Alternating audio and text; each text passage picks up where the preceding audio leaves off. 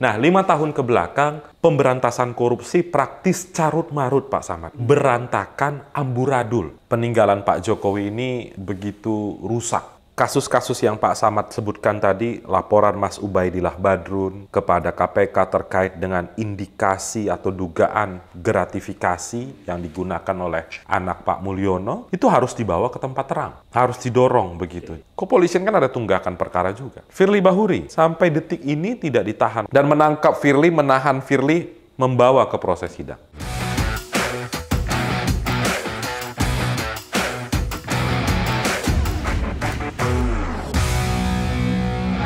Selamat datang di channel Abraham Samad Speak Up. Seperti biasanya, hari ini saya menghadirkan narasumber yang luar biasa, netizen.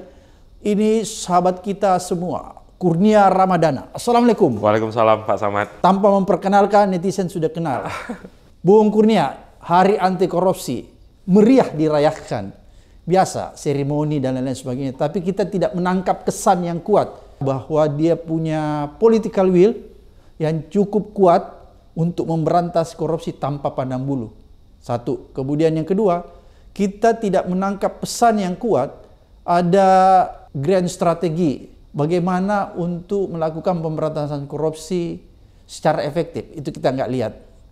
Dan yang ketiga, semakin meyakinkan kita nih Bung Kurya dengan melihat terpilihnya pimpinan Komisi Pemberantasan Korupsi walaupun belum dilantik tapi sudah terpilih. Ya, mau dikatakan apa lagi?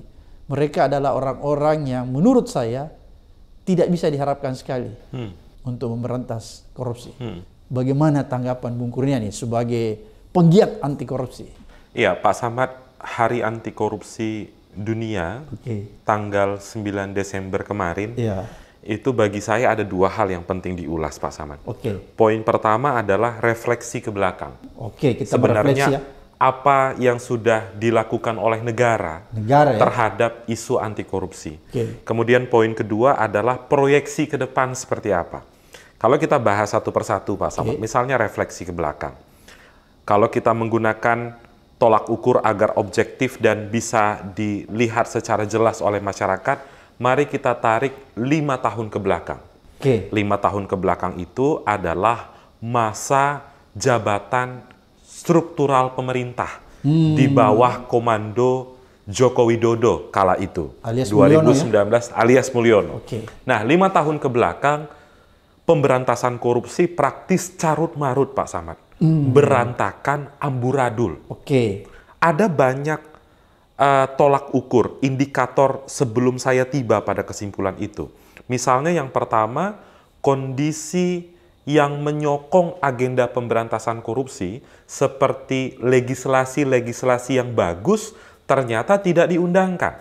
Hmm. Misalnya perampasan aset, hmm. kemudian pembatasan transaksi uang kartal. Kita hmm. zoom lagi nih, misalnya perampasan aset. Saya rasa penonton YouTube Abraham Samad sudah banyak membaca pemberitaan tentang RUU perampasan aset. Okay. Pembelaan Pak Jokowi kala itu Pak Samad undang-undang ini sudah kita lempar ke DPR. Silahkan tanya ke DPR. Itu alasannya? Itu alasan Presiden Jokowi. Kalau kita lihat lagi, kapan sih diberikan Pak Jokowi kepada DPR? Diberikan itu bulan Mei tahun 2023. Hmm. Pak Samad secara sederhana, kalau dikirim bulan Mei tahun 2023, semua anggota DPR itu tertuju ke pemilu 2024. Jadi nggak masuk akal ya? Nggak masuk akal itu bisa diundangkan. Jadi ada indikasi kesengajaan hmm. supaya mendapatkan panggung untuk menolak dikritik oleh masyarakat. Itu yang dilakukan itu, Jokowi ya? Itu bonggol besar dalam konteks legislasi selain dari revisi Undang-Undang okay. KPK yang saya rasa itu uh, penonton sudah banyak tahu betapa rusaknya undang-undang hmm. itu.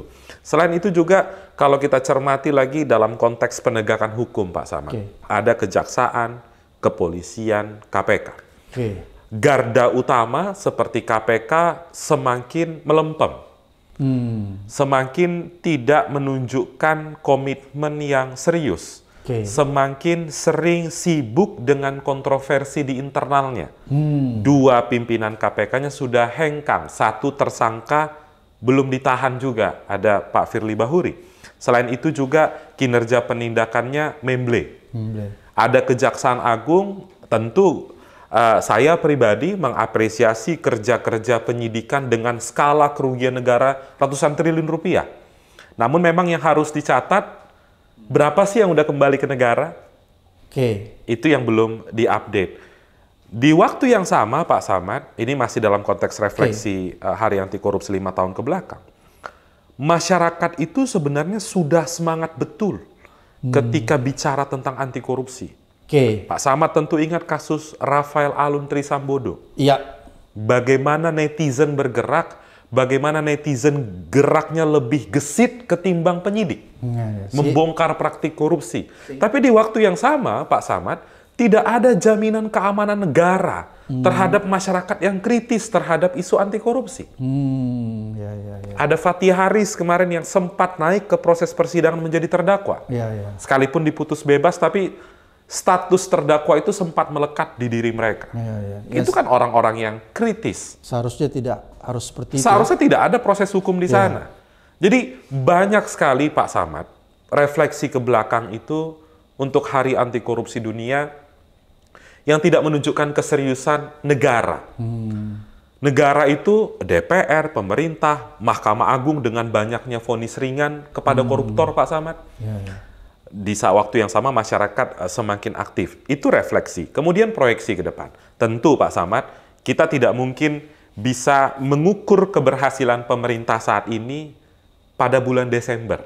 Betul. Baru dua bulan Ya. mereka menjabat. Tidak adil kita kalau menilai. Tentu tidak adil Pak Ya. Samad. Akan tetapi memang kita lihat dalam pemerintahan saat ini, Presiden Prabowo itu kan sudah memasukkan isu anti korupsi di dalam asta citanya. Berulang kali Pak Prabowo itu berbicara tentang isu anti korupsi. Sekarang tinggal actionnya nih. Hmm. Presiden pernah mengatakan kami akan kejar koruptor sampai ke Antartika.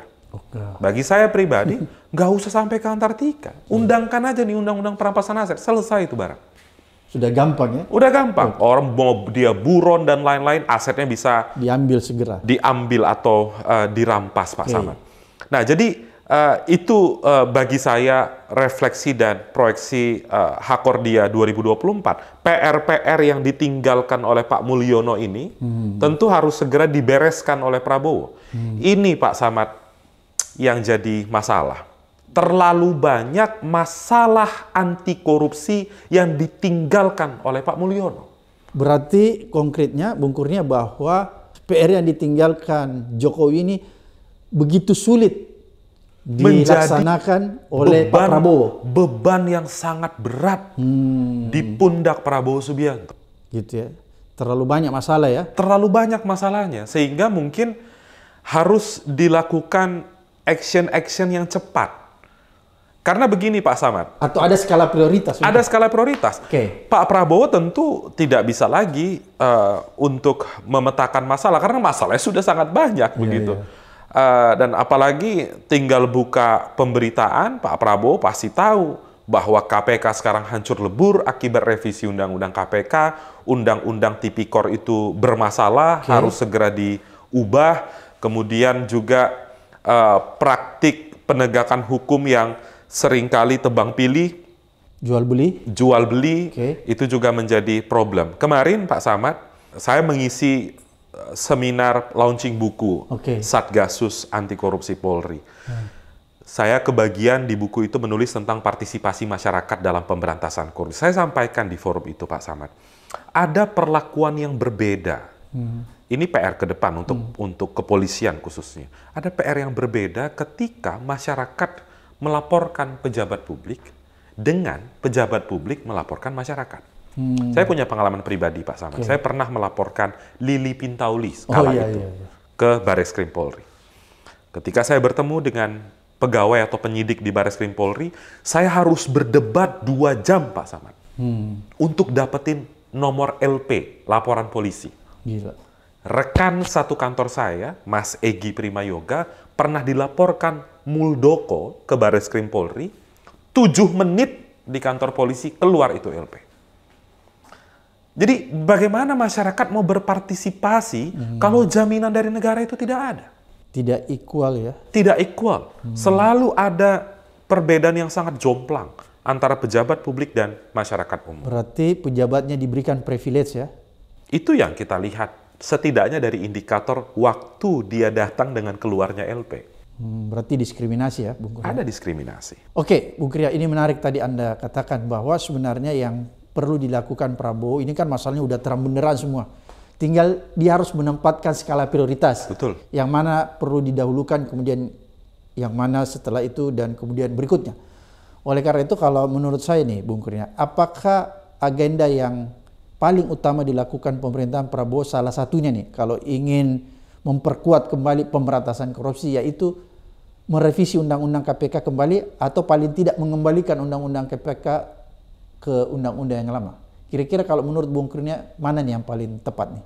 Iya, itu harus Pak Samad. Begini, kan kita semua sepakat Pak Samad. Undang-undang itu bukan produk yang haram untuk direvisi. Buka Al-Quran. Ya, bukan kitab suci. Ya. Sehingga proses revisi itu menjadi hal yang mungkin, bahkan dibutuhkan, apalagi kita bicara tentang kejahatan korupsi yang selalu berkembang. Ekstra ya, Extraordinary crime. Oke. Namun yang jadi problem 2019 kan revisinya ugal-ugalan. ya. Revisinya tidak jelas juntrungannya ke mana. Ya, oke. Satu sebenarnya kunci di dalam revisi Undang-Undang KPK yang kita harapkan bisa dilakukan oleh Pak Prabowo. Ya. Mengembalikan independensi KPK. Oke, sesuai dengan semangat UNCIC ya. Semangat konvensi PBB melawan korupsi Ya. Pak Samad.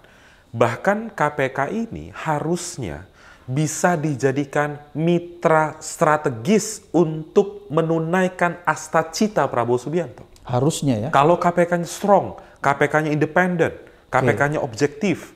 Nah, maka dari itu Pak Samad, kita mendorong agar hal tersebut dilakukan. Apalagi Pak Samad, kalau kita lihat nomenklatur kabinet Pak Prabowo, misalnya. Gemuk. Gemuk. Tapi di aspek yang lain Pak Samad, kalau kita lihat dari kacamata yang lain, yang ngurusi bidang hukum banyak kurang banyak Pak Samad. Menteri hukumnya ada dua. Satu menteri ada wamennya. Ada Menko-nya. Ada Pak Yusril dan Pak Oto Hasibuan. Dua lagi. Dua orang.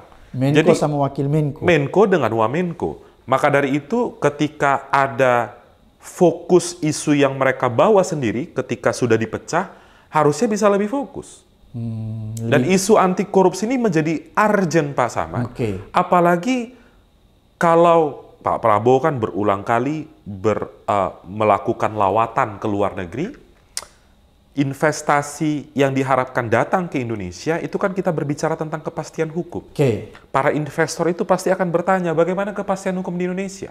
Apakah praktik korupsi masih marak terjadi? Salah satu tolak ukur objektifnya adalah indeks persepsi korupsi. Hmm, IPK ya. Stagnan IPK kita tahun 2023, Pak Saman. tiga- Mungkin bulan depan itu keluar IPK terbaru yang biasanya dilansir teman-teman TI itu kan awal tahun. Mari kita lihat apakah stagnan atau anjlok. Saya pribadi yakinnya anjlok, Pak Saman. Jadi tiga berapa kira-kira? Ya bisa jadi uh, turun 2 atau 3 poin prediksi saya. Karena Kemarin tiga empat kan? ya kita tahu kalau hitung-hitungannya tahun 2024, tentu 2024 itu kan lebih banyak kerja-kerja dari Pak Jokowi ketimbang Pak Prabowo. Dari Januari sampai Juni paling tidak kan sibuk dengan pemilu Pak Jokowi. Tidak melihat ada urgensitas perbaikan anti korupsi di sana. Oke, jadi prediksi Bung Kurya mungkin bisa anjlok atau Bisa paling anjlok. tidak stagnan ya. Bisa anjlok. Itu kan lagi-lagi kan menjadi beban dari pemerintahan yang baru. Belum lagi kalau kita lihat eh, maraknya nih dugaan yang diributkan oleh netizen dugaan korupsi keluarga Mulyono. Itu kan juga mempengaruhi IPK mungkin ya. Ya, itu kan pasti akan menjadi paling tidak itu kan diisukan, bukan diisukan, didiskusikan oleh Oke. masyarakat karena ada banyak tanda tanya yang belum dijawab oleh uh, penegak hukum soal itu. Oke. Bu Kurnia, ini kan begini. Lagi-lagi diskusi di tengah-tengah masyarakat. Bahkan dugaan ini sebenarnya sudah dikonkretkan. Itu kan ada Ubedela Badrun yang sudah melaporkan dugaan korupsi ya keluarga Mulyono. Kemudian juga kemarin masalah penggunaan jet oleh Kaisang itu juga su- sudah dilaporkan ke KPK oleh kelompok-kelompok masyarakat. Kemudian Blok Medan juga itu kan juga sudah dilaporkan ya. Bahkan pimpinan-pimpinan KPK juga sudah ada yang berkomentar walaupun antara satu pimpinan dan pimpinan yang lain itu kadang-kadang pendapatnya agak berbeda. Tapi yang kita bisa tangkap bahwa seluruh kasus-kasus yang melibatkan keluarga Jokowi ini sebenarnya sudah ada di KPK. Kira-kira seperti itu Bung Kurnia ya.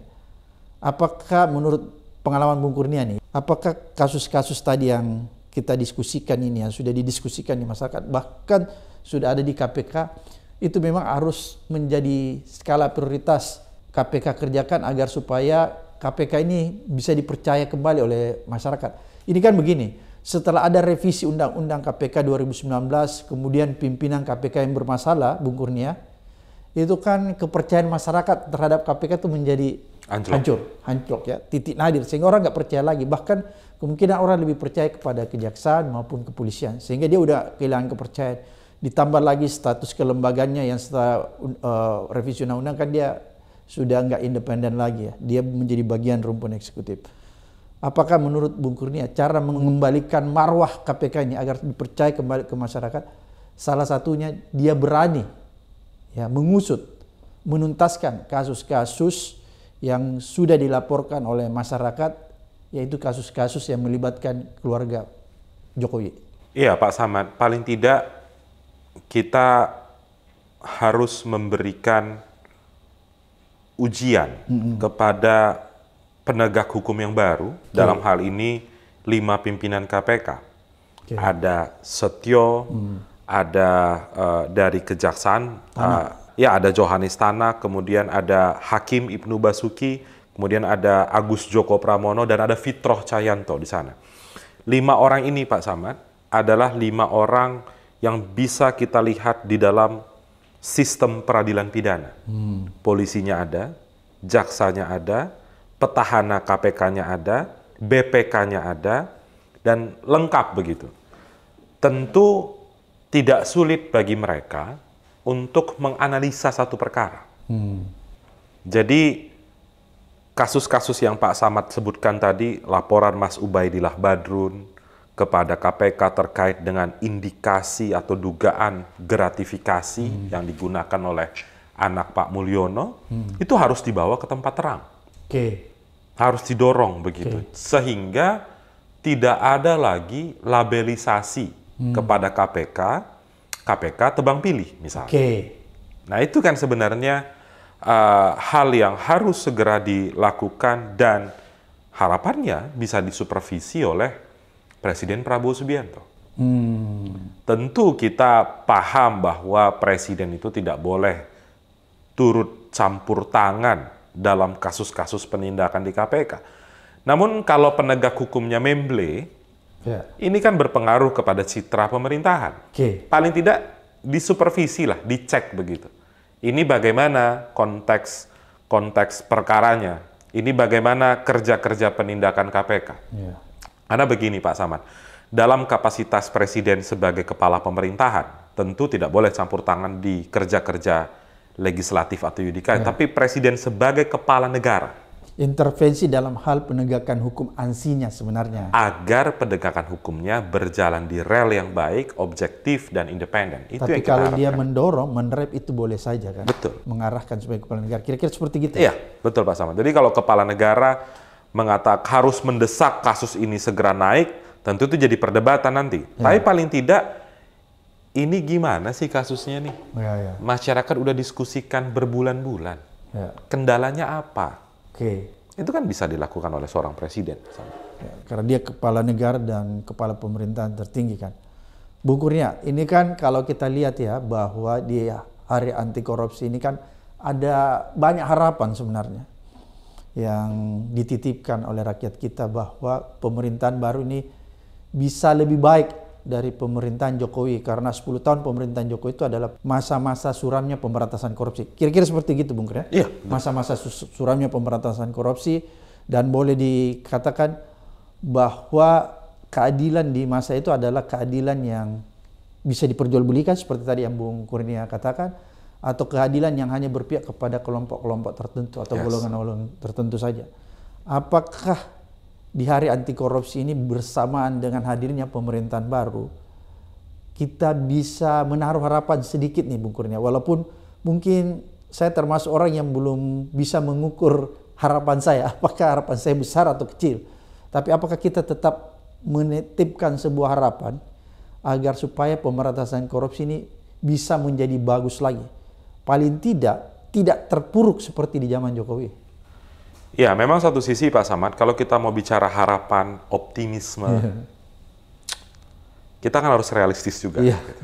Supaya harapan itu tidak utopis. Iya, iya, iya. Tidak menjadi satu angan-angan yang tidak mungkin tergapai begitu.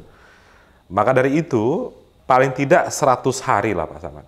100 hari action dari pemerintahan baru itu, mereka sudah melakukan apa? Oke. harus ada Pak Samad evaluasi dari presiden terhadap kerja-kerja menteri-menterinya. Oke. Misalnya menteri-menteri yang terkait dengan isu penegakan hukum. Oke.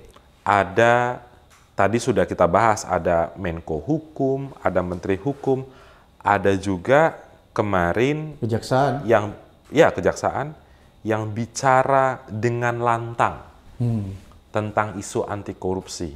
Oke. Yang selama ini kayaknya jarang nih saya dengar Ya. beliau ini bicara tentang anti korupsi. Kemarin ada satu pejabat publik yang datang ke gedung KPK. Ah, Mewakili presiden. nah Pak Samad langsung senyum kan di sana. Ya, kan? ya, ya. Ada Menko Politik Keamanan Yang tiba-tiba. Budi Gunawan Ya, oke. tiba-tiba berbicara tentang anti korupsi. Nah, Dan jadi kapasitasnya mewakili presiden ya. kapasitasnya mewakili presiden. Oke. Sebenarnya kita sesali juga Kenapa kenapa, bukan seharusnya kan ini hari anti korupsi? Kenapa presiden seharusnya tidak memberikan mandat kepada Menko Hukum? Kan seharusnya gitu ya. Coba Bung Kurnia. Iya betul sekali itu juga yang ada dua lah Pak Samad. Oke. Satu yang saya pribadi sayangkan kenapa Presiden Prabowo tidak hadir ke sana. Ada dua agenda kemarin Pak Samad. Ada Hakordia KPK, ada Hakordia Polri juga. Hmm. Harusnya kan Presiden itu datang ke sana. Kemudian yang kedua tadi, Oke. di mana relasinya nih? Iya, iya. Ya kan? Politik. politik keamanan begitu. Satu ada Menko Hukum, ya lebih baik ya secara nomenklatur kabinet ya Pak Samad, tupoksi kerja-kerja kementerian ya harusnya Pak Yusril yang datang. Iya, Menteri Hukum. Atau kalau Pak Menko Hukum, Ya. kalaupun tidak Pak Yusril yang datang, bisa Wakilnya. Pak Oto Hasibuan atau mungkin Menteri Hukum dan HAM. Pak Andi Adgas yang datang ke sana. Yang punya kok- relevansi ya. Iya, kenapa mengejutkan Ya. uh, Pak BG Iya. yang datang ke uh, KPK? Banyak juga Pak Samad. Ini saya melihat ya Saya diundang tapi saya nggak datang.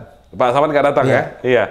Saya juga banyak melihat di banyak di media sosial itu di atas foto Pak BG lagi memberikan eh, ceramah anti korupsi, di bawah foto KPK tahun 2015 bulan Januari. Ini Bung Kurnia nyinggung-nyinggung. saya. Oke, oke, oke. Ada yang membandingkan foto itu Pak Samad. Oke. Ada yang membandingkan foto itu. Yang Oke, atas menarik. dia, dia Menko, yang bawah statusnya beda saat itu. Nah, Iya. jadi ada paradoks di sana. Nakal juga netizennya. Ada juga netizen. Oke, lanjut. Jadi kira-kira apa sih yang sedang terjadi nih? Apa yang bisa kita baca dari peristiwa kemarin itu, Bung Kurnia? Kalau menurut Anda? Iya, harusnya Pak Prabowo itu Datang. datang, kemudian kalaupun berhalangan hadir, menteri yang punya relevansi lah. Yang di- supaya apa Pak Samad? Supaya ucapan itu, pidato itu bisa diselaraskan dengan kerja-kerja keesokan harinya. gitu. Oh, artinya pidato itu bermakna. Bermakna. Ini dan kemarin jadi nggak bermakna ya? konkret, tidak bermakna. Karena kalau saya pribadi melihat, Oke. secara tupoksi kayaknya agak jauh nih. Pak BG Nggak ada relevansinya sebenarnya. untuk bicara tentang ya tentu setiap orang boleh bicara anti korupsi dan bagus, tapi mewakili negara datang ke sana kayaknya kurang pas gitu Mas. Hmm, jadi ini juga menjadi catatan penting bagi kita semua ya bahwa ada apa sebenarnya pemerintah Iya. ini ya. Kira-kira seperti itu. Betul. Nanti kan ketika berbicara Dan dulu Bung Kurnia, apakah bisa ditafsirkan misalnya kalau ada segelintir nih netizen yang tadi Anda bilang itu, itu kan bahwa dengan dipilihnya Menko Polkam itu untuk menggantikan presiden mewakili di sana itu sebenarnya memberi pesan kepada kita semua bahwa ini kayaknya nggak terlalu serius nih pemerintahan ini untuk agenda pemberantasan korupsi. Kira-kira Bung Kurnia bisa nggak menyimpulkan? iya karena tidak bisa secara jelas dilihat benang merahnya. Oke. masyarakat tentu bisa saja menafsirkan hal itu, Pak Oke. Samad. Bahkan Pak Samad ketika kemarin itu Pak BG berbicara kan headline di mana-mana Pak Samad. Orang jadi memantik begitu untuk membuka Siapa? kitab Undang-Undang Hukum Pidana Hmm. atau KUHAP Pak Samad melihat kalau daluarsa itu berapa tahun ya? Ya. Itu Pak Samad. Itu netizen ya. Iya netizen. Jadi eh, apa benang merahnya ya silahkan sambungkan sendirilah itu. Jadi ibaratnya membuka luka lama ini ya. Iya bisa. Orang pada ngecek kan daluar kalau daluarsa korupsi itu yang hukumannya 20 tahun itu berapa tahun ya daluarsanya gitu. Hmm, gitu. Gitu. Oke, kita kembali nih Bung Kurnia. Ini kan menarik tadi yang kita diskusikan bahwa sebenarnya ini kan PR kita yang terdekat nih, yang harus segera dilakukan oleh aparat penegak hukum untuk mengembalikan kepercayaan nih, agar rakyat bisa percaya nih aparat penegak hukum bahwa betul-betul serius dalam agenda pemberantasan korupsi, utamanya leading sektornya kan KPK kan Yes. kalau kita. Apakah memang KPK ini harus punya skala prioritas? Jadi skala prioritas yang saya maksud di sini bukan tebang pilih ya. Ini kita harus luruskan nih ke Betul, masyarakat. setuju, setuju. Kan masyarakat itu kadang-kadang menganggap tebang pilih bukan. Ada skala prioritas. Itu kan beda skala Iya, prioritas betul, dan betul. tebang pilih. Apakah skala prioritas yang harus dilakukan oleh KPK ini misalnya nih untuk membangkitkan kepercayaan dia harus betul-betul bisa terlihat serius dan tidak terintervensi untuk bisa menindaklanjuti kasus-kasus yang melibatkan keluarga Mulyono. Iya Pak Samad, Eh, saya setuju dengan omongan Pak Samad tadi ya. KPK itu tidak tebang pilih, tapi KPK itu punya skala prioritas. Oke. supaya tidak jadi diskursus di tengah masyarakat kan logika kan begini Pak Samad. Kenapa KPK itu punya skala prioritas? Satu karena Keterbatasan. keterbatasan SDM. Oke. KPK tidak ada di seluruh daerah. Iya. Terbagi kewenangannya dengan kepolisian yang jauh lebih besar, Oke. kejaksaan yang jauh lebih banyak kantor-kantor di kabupaten, kota atau provinsi. KPK kan cuma satu, sehingga memang KPK harus punya skala prioritas. Ya, oke. Karena pertanyaannya apa skala prioritas ke depan? Tentu kasus-kasus yang selama ini didiskusikan di tengah masyarakat. Kemudian yang kedua adalah tunggakan kasus-kasus lama yang harus segera diselesaikan Oke. oleh eh, KPK di bawah komando Pak Setio ke depan lima tahun mendatang. Selain itu juga misalnya Pak Samad, kasus-kasus yang melibatkan atau di dalam ceruk lingkungan hidup, Hmm. pertambangan dan lain-lain itu angkanya luar biasa besar. Sumber daya alam ya. Sumber daya alam. Oke. Itu harus juga dibongkar oleh KPK. Karena itu memiskinkan rakyat ya. Karena itu mempunyai multi Layak. efek dampaknya Ya. tidak hanya kepada masyarakat, kepada perekonomian negara, keuangan negara, Lingkungan. kepada juga lingkungan. Oke. Dan kita tahu kalau kita bicara tentang sektor sumber daya alam, biasanya adalah orang-orang kuat. Orang-orang yang punya bahasa sederhananya orang-orang yang punya backing. Punya relasi dengan kekuasaan. Betul. Oke. Apalagi kalau sekarang ini KPK-nya baru mestinya didap- mendapatkan dukungan dari Presiden Prabowo. Hmm, Oke. Kalau Pak Prabowo punya agenda pembenahan sektor sumber daya alam, tanda kutip, gunakanlah KPK. Dititipkan ke KPK ya. Gunakanlah KPK untuk memastikan proyek-proyek dari pemerintahan lima tahun ke depan dapat berjalan dengan baik dan tidak ada praktik korupsi di sana. Hmm, agar kita bisa mengoptimalkan pemasukan dari keuangan negara, Pak Samad. Jadi eh, banyak sekali agenda-agenda pemberantasan korupsi yang sudah kadung hancur di era presiden sebelumnya yang menjadi beban bagi Presiden Prabowo. Oke, menarik nih. Tadi Bung Kurnia singgung sedikit dengan pimpinan KPK ya, yang seharusnya bisa kita titipkan harapan pemberantasan korupsi. Kalau kita lihat, kita flashback ke belakang. Pimpinan KPK yang terpilih ini kan masih bagian dari kerja Mulyono. Dan banyak desas-desus Bung Kurnia. Bung Kurnia pasti tahu juga lah bahwa mulai dari panselnya itu kan sudah kuat dugaan sudah diatur sedemikian rupa oleh Presiden Jokowi ya. Sehingga banyak juga dugaan bahwa sebenarnya yang terpilih ini sebenarnya sudah selesai di luar. Kan banyak dugaan mengatakan begitu bahwa fit and proper test yang dijalani itu tes dan lain sebagainya itu cuma sekedar apa tuh formalitas belaka, tapi sebenarnya orang yang dipilih itu sudah dikondisikan sedemikian rupa agar supaya lagi-lagi dugaan bisa mengamankan pemerintahan sebelumnya. Apakah kalau melihat fenomena itu, bisakah masih bisakah kita berharap dengan pimpinan KPK yang baru terpilih kalau dia bagian dari masa lalu? Iya, memang kalau dilihat dari profil mereka, profil dari pimpinan KPK baru sulit untuk menitipkan harapan itu, Oke. Pak Samad. Ada Kan pasti Bung Kurnia pernah men-tracking kan? ICW pernah Ya, men-tracking. kita pernah melakukan tracking terhadap mereka, Oke. lima orang yang terpilih ini. Profilnya tidak ada yang begitu mentereng sebenarnya soal isu pemberantasan korupsi begitu.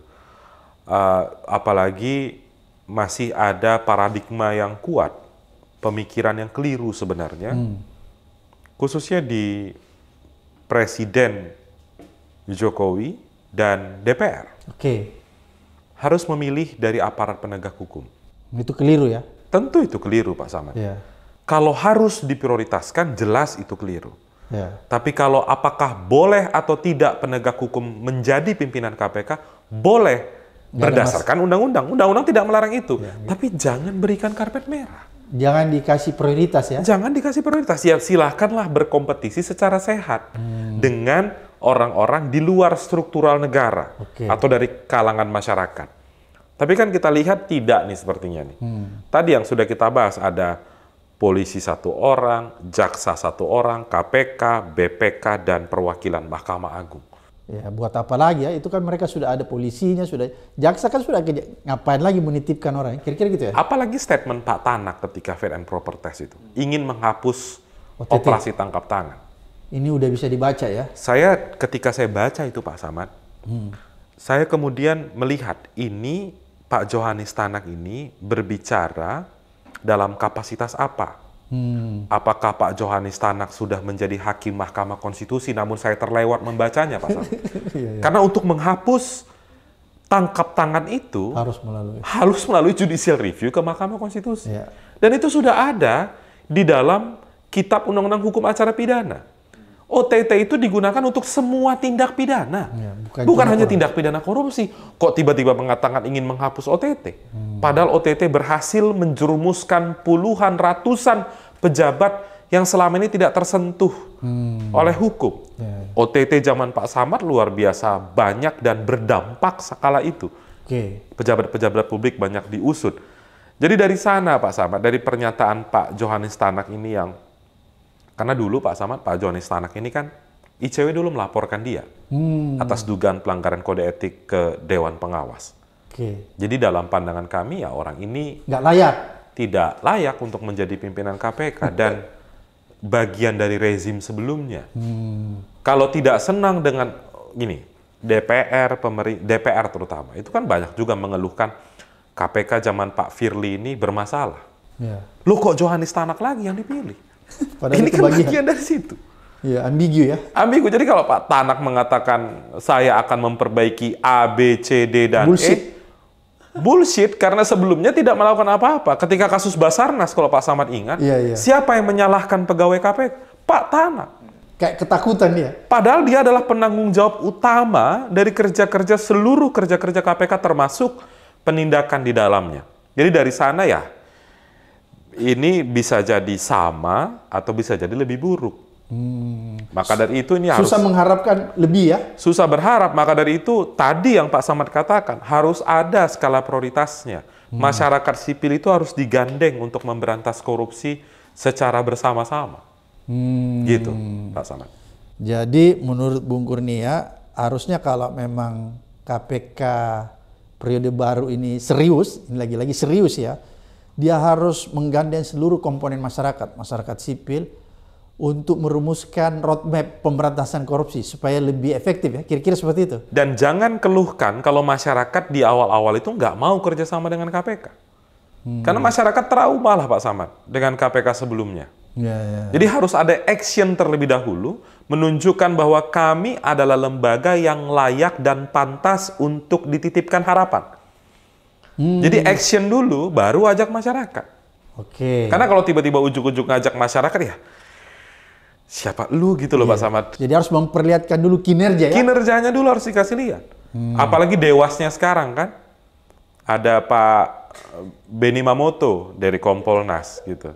Ada dari Hakim tuh mertuanya stand up komedi Kiki Saputri. Ya tentu ya mereka jangan salahkan kalau masyarakat tuh skeptis ngelihat profil mereka. Hmm, ya, ya. Maka pertanyaan masyarakat emang Pak Beni Mamoto apa sih yang prestasi di Kompolnas gitu? Nggak ada ya. Ya, praktis kan nggak pernah kedengaran Pak Ya, betul. Justru membela aja. Iya, biasanya kan seperti itu. Nah, ini yang harus dijawab oleh mereka. Jadi, kritikan tajam dari masyarakat, skeptipis, skeptisme yang luar biasa besar dari masyarakat, jangan emosional menghadapinya. Ya itulah realitanya. Iya. Nggak mungkin tiba-tiba eh, kita semua konferensi pers, kami yakin dengan Pak Setio, kami menaruh harapan dengan Pak Setio, kami Nggak mungkin. yakin dengan keberanian Pak Fitroh, dengan objektif dari Pak Ibnu, kami menaruh harapan besar kepada Pak Jenderal Beni Mamoto. Nggak mungkin itu terjadi, Pak Samad.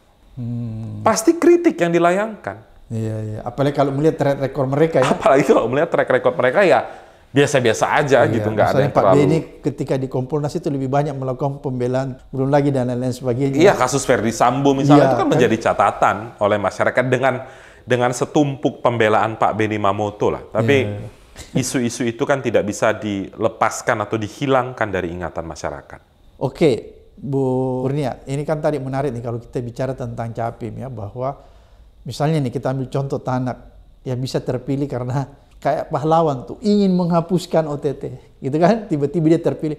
Apakah dia terpilih karena dia ingin menghapuskan OTT ataukah memang Tanak ini dipilih karena kalau menurut saya ketika berhembus nih kasus-kasus keluarga Mulyono, jet pribadi dan lain sebagainya, salah satu pimpinan KPK yang bikin pernyataan yang sepertinya agak membela itu kan tanah soal jet pribadi Kesang itu.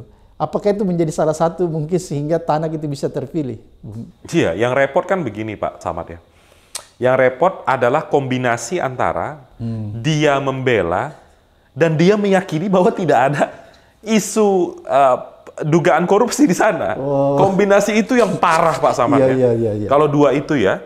Jadi saya melihat Tanah. strategi Pak Tanak ini mengatakan ingin menghapus OTT itu bisa jadi memang itu dia yakini gitu loh Pak Samad. Dia yakin akan dia mau lakukan. Nah itu kan parah ya kalau dia yakini itu loh.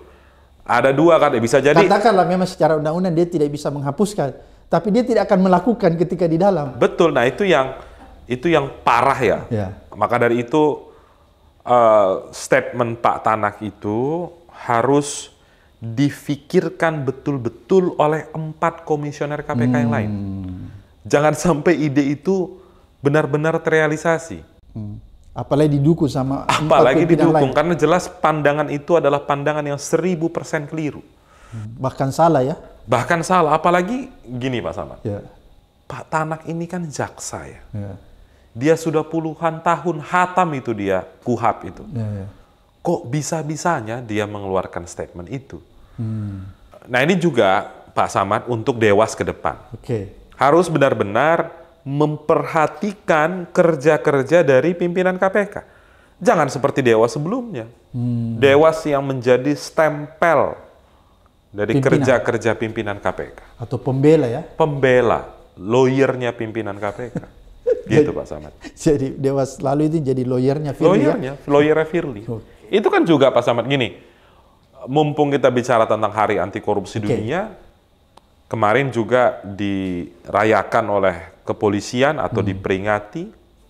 Kepolisian kan ada tunggakan perkara juga. Hmm. Firly. Firly Bahuri Oke. sampai detik ini tidak ditahan. Oke lah kita ditahan, ditahan atau tidak ditahan itu subjektif dari penyidik. Hmm. Kasus ini kok nggak naik-naik ke sidang gitu loh. Ya, Apalagi yang kurang. Udah setahun loh Pak Samad. Kasus ini sejak. Kira-kira kenapa tuh Bang? Salin Sandra. Nah itu dia yang menjadi pertanyaan kita. Kapolri kemarin berbicara tentang komit soal anti korupsi, membentuk Kortas Tipikor.